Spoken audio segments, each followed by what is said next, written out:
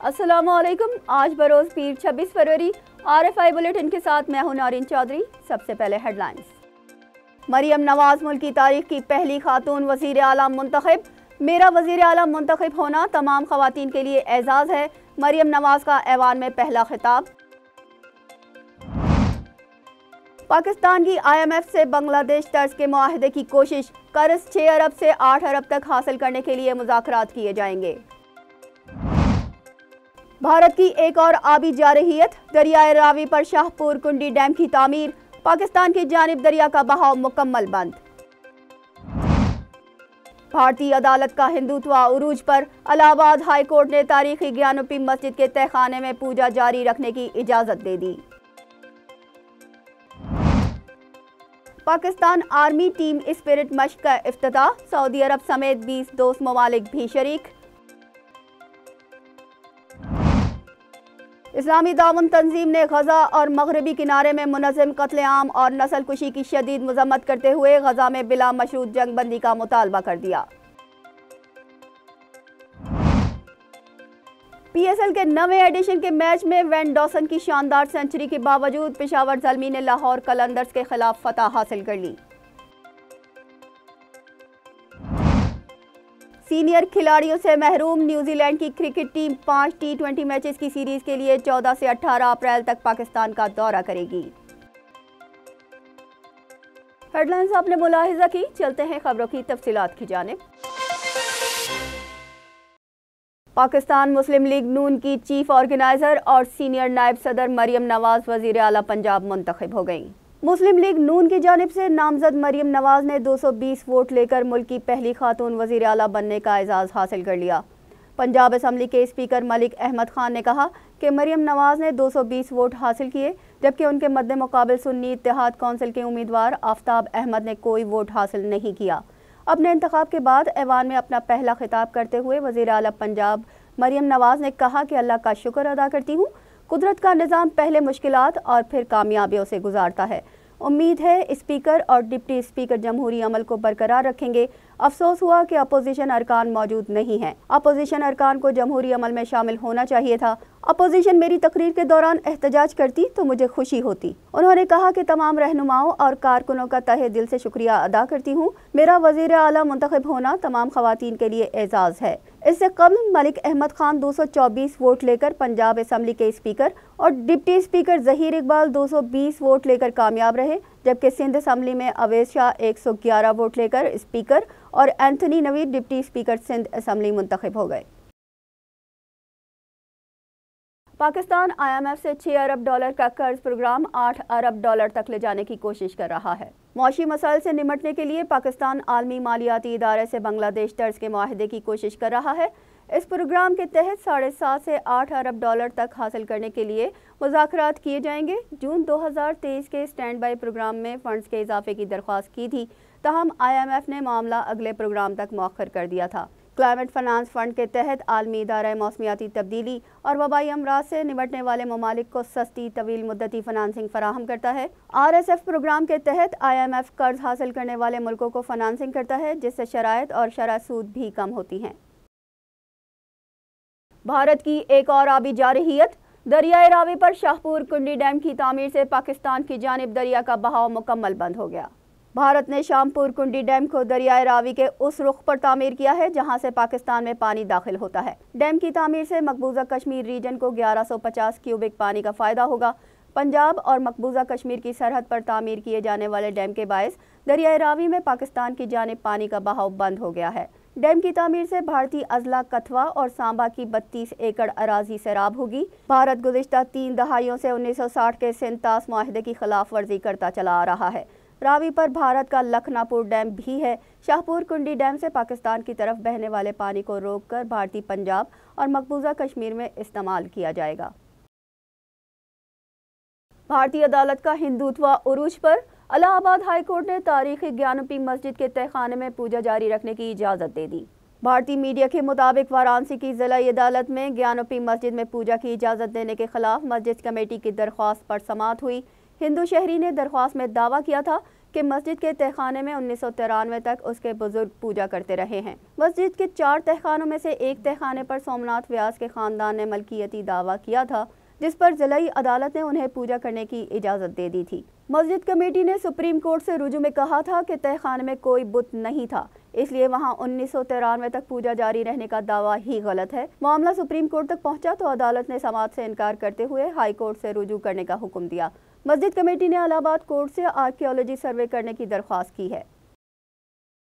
Pakistan army team spirit मश्क का अफ्ताह, बीस दोस्त ममालिक भी शरीक है। आईएसपीआर के मुताबिक टीम स्पिरिट मश्क 2024 की अफ्ताही तकरीब नेशनल काउंटर टेररिज्म सेंटर में मुनद की गई। डायरेक्टर जनरल मिलिट्री ट्रेनिंग ने 60 घंटों तवील पेट्रोलिंग मश्क का अफ्ताह किया। तकरीब में अमेरिका, चीन Germany Japan Indonesia Turkiye Saudi अरब समेत 20 ममालिक के फौजी और मुबसरीन शरीक हुए। मशकों का मकसद पेचीदा बैन अवी सिक्योरिटी माहौल के तहत मुख्तलिफ़ मुल्कों के दरमियान फौजी तावन को बढ़ाना है। मश्क से जहनी चुस्ती, जिसमानी फिटनेस और पेशा वाराना फौजी महारत के बारे में जानने का मौका मिलता है। पाकिस्तान आर्मी टीम स्पिरिट मश्क का हर साल इनका किया जाता है। पाक बहरिया की सीज पार्क मश्क अख्ताम पजीर हो गई।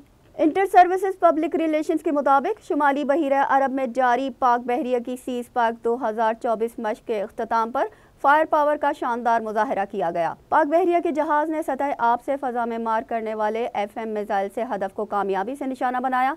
Commander Pakistan fleet vice admiral Mohammad Faisal Abbasi ने फायर पावर डिस्प्ले का मुशाहिदा किया। इस मौके पर उन्होंने कहा कि मुल्क की सरहद को नाकाबिल तस्खीर बनाने के लिए पाक बहरिया पुर अज़म है।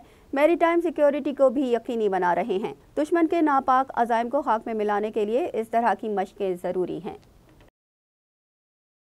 अकवा मुतहदा में पाकिस्तान के मुस्तकिल मंदूब मुनीर अकरम चौदह बास और सिफारतकारों में सर फहरिस्त हैं। पाकिस्तान के खुशनुमा सिफारती चेहरे के हवाले से अकवा मुतहदा में पाकिस्तान के मुस्तकिल मंदूब को आलमी सतह पर जाना जा रहा है। इंटरनेशनल इंट्रीक के नाम से जारी वेबसाइट ऑस्ट्रेलिया के दो सबक सिफारतकारों ने शुरू की थी। जिसमें मुनीर अक्रम को खबरों, तजियों और सिफारतकारी के तकाज़ों के अनवाना से बासर सिफारतकार करार दिया गया। अस्सी साल सीनियर सफ़ीर मुनीर अक्रम 2002 से 2008 तक भी अकवा मुतहदा में मुस्तकिल मंदूब के फ़रज़ अंजाम दे चुके हैं। वो सिफारतकारी में इंतहाई काबिलियत रखते हैं। मुतहरक होने की बिना पर उन्हें चौदह बासर सिफारतकारों में सर फहरिस्त रखा गया है। इस्लामी तावन तंजीम ने गजा और मगरबी किनारे में मुनम कत्लेआम और नस्ल खुशी की शदीद मजम्मत करते हुए गजा में बिला मशरूत जंगबंदी का मुतालबा किया है। तुर्किया में ओ आई सी वज्रा इतलात के गैर मामूली इजलास में कहा गया कि गजा और मगरबी किनारे में नस्ल कुशी और कत्लेआम की मनजम मुहिम इंतहाई काबिल मजम्मत है। ओ आई सी का कहना है कि मजमूम इकदाम को छुपाने के लिए गुमराही फैलाई जा रही है। सच की आवाज़ को दबाने के लिए सहाफ़ियों को निशाना बनाने की भी मजम्मत करते हैं। इस्लामी ताउन तंजीम ने मजीद कहा कि खत्े में अमन का वाद रास्ता, गजा जंग बंदी और उनके हकूक़ को तस्लीम करना है। अमरीका और बरतानिया ने यमन के हौसियों के तकरीबन 18 ठिकानों पर नए हमले किए हैं। मगरबी मीडिया के मुताबिक बहिरा अहमर में यमन के हौसियों की बढ़ती कार्रवाइयों को रोकने के लिए अमरीका और बरतानिया ने मुश्तर हमले किए। इन हमलों में अहम अस्करी अहदाफ और तकरीबन 18 ठिकानों को निशाना बनाया गया। अमरीका और बरतानिया के मुश्तर जारी करदा बयान के मुताबिक रेड सी की सिक्योरिटी को यकीनी बनाने के लिए हौसियों के खिलाफ कार्रवाई जारी रहेगी। यमन के हौसी मलेशिया की ताकत तोड़ने के लिए मुश्तर ऑपरेशन मजीद किए जाएँगे। जबकि ईरान ने इन हमलों की मजम्मत करते हुए कहा कि ये यमन की खुद मुख्तारी और इलाकई सालमियत की खिलाफ वर्जी है स्पेन के फुटबॉलर पैलीटेरियो ने इस्लाम कबूल कर लिया। कोयती फुटबॉलर दोस्त ने इस्लाम की तरफ़ रागब किया था। स्पेन के मशहूर फुटबॉलर पेलीटेरियो गुजशत 11 साल से कोयती फुटबॉलर से इस्लाम के मुतालिक मालूम हासिल कर रहे थे। कोयती फुटबॉलर फैसल बोरिसी इनके करीबी दोस्त हैं। पेलीटेरियो का कहना था कि दारा इस्लाम में दाखिल होना ज़िंदगी का बेहतरीन लम्हा था। शुमाल मगरबी स्पेन में पैदा होने वाले स्टार बॉलर ने 2021 में रिटायरमेंट ले ली थी। इनसे कबल यूरोप के मुतद मुल्कों के स्टार फुटबॉलर दोस्तों की तबलीग के बायस इस्लाम कबूल कर चुके हैं। पीएसएल के नवे एडिशन के मैच में वेंडर डोसन की शानदार सेंचुरी के बावजूद पेशावर जलमी ने लाहौर कलंदर्स के खिलाफ फतह हासिल कर ली। लाहौर के कजाफी स्टेडियम में खेले गए मैच में लाहौर कलंदर्स ने टॉस जीतकर पेशावर जलमी को पहले बैटिंग की दावत दी और ये फैसला बिल्कुल गलत साबित हुआ। पेशावर जलमी ने मुकर्रा ओवर्स में चार विकेटों के नुकसान पर 211 रन बनाए लाहौर कलंदर्स की टीम मुकर्रा ओवर्स में छह विकेटों के नुकसान पर 230 रन बना सकी और इस तरह पेशावर जलमी ने दिलचस्प मुकाबले के बाद मैच में आठ रन से कामयाबी हासिल कर ली। डोसन ने बावन गेंदों पर छः छक्कों और सात चौकों की मदद से नाकाबिल शिकस्त 104 रन की बाजी खेली, लेकिन इनकी ये इनिंग्स भी कलंदर्स को इवेंट में लगातार पाँचवीं शिकस्त से न बचा सकी। न्यूजीलैंड की क्रिकेट टीम पाँच टी ट्वेंटी मैचेस की सीरीज़ के लिए 14 से 18 अप्रैल तक पाकिस्तान का दौरा करेगी। न्यूजीलैंड क्रिकेट टीम दौरा पाकिस्तान में अपने सीनियर खिलाड़ियों की खिदमत से महरूम रहेगी।